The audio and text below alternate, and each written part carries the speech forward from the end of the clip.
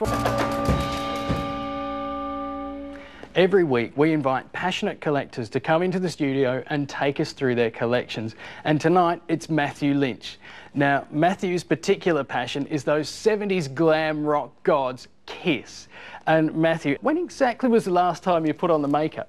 When I was younger, my brother actually did my face up as Ace Frehley, but we didn't have any black eyeliner, so we used a black uh, permanent marker texter. and it took about three days for it to come off, so yeah, Exactly. school wasn't too pleased. okay, before we give away all your embarrassing Kiss stories, we'd better take a look at the collection.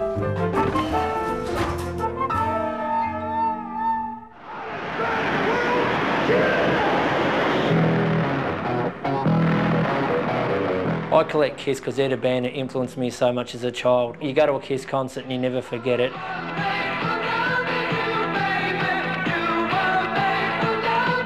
I first started collecting Kiss when I was about nine years old. I mean, there's just so much out there from games, uh, toys, lunch boxes. Well, the sky's the limit. The hardest band in the world! Kiss! When Kiss arrived in Australia in 1980, it was just absolutely huge. And this was the program you would have bought if you're in Melbourne, say at Waverley Park. You can see the Icy Pole advertisement. This is an example of how hard Kiss hit the merchandising and captured everyone's imagination. And I actually have an Icy Pole wrapper over here. If you look, you can see the torn bit on the side where the icy pole was removed, and there's a picture of Eric Carr and Paul Stanley. You also have the radio from 1977, and this is a great little piece, one of my favourites. If you turn it on, you can see it still works. All right, that's music to my ears.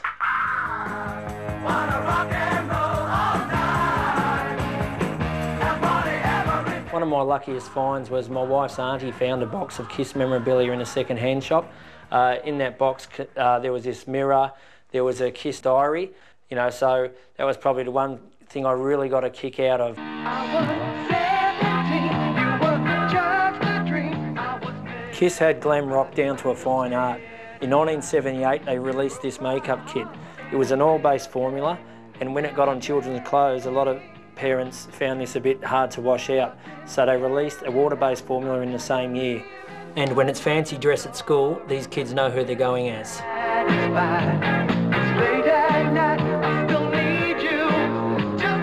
This is one of my favourite items from 1977. It's the metal lunchbox and thermos flask. That's very sought after. But probably over the last few years, it's just really snowballed, or you could say got out of control. And um, yeah, I'm just going crazy at the moment, collecting whatever I can get my hands on.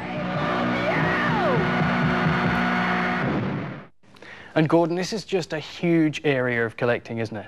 Some of the prices, Andy, I just get blown away. There was a Shea Stadium Beatles poster sold recently, $175,000. And a Kiss out, a full Kiss outfit sold for about the same kind of price. Oh, look, they had a very smart manager. His name was Bill Aucoin, and he uh, took them on from their early days and really marketed them, them well. Coined by name, coined by, by nature. nature. Yeah. And uh, and here we have this uh, this this incredible thing. There's a few people. Elvis was one, I think. Elvis was one, yes. Um, who've who've had their uh, photo or their image on legal tender on American one dollar bill, and, and here's Kiss on, on this one.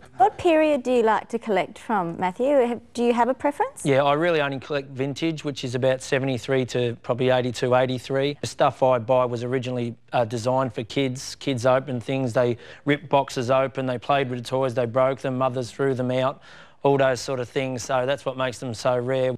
Kiss were doing all the merchandise and everything the same as other bands were, but they kind of took it another step further. Tell us about the comic book.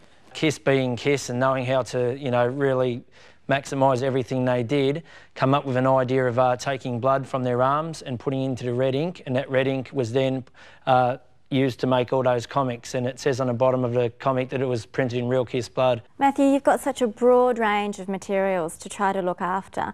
This uh, dollar note is actually in a, a sleeve of mylar, which is a fantastic product for keeping paper-based um, objects in. Um, but what you could do is back it with acid-free card and keep it in uh, polypropylene is the best thing. Okay. So are you constantly looking for new stuff to collect? I always, I mean, look, I still haven't got a pinball machine, and that's probably m- more to do very with the cool. fact the lack of room. We'll have to come back and see when you get it. Well, that's right. And we'll have to have a game, maybe. Yes. Now, remember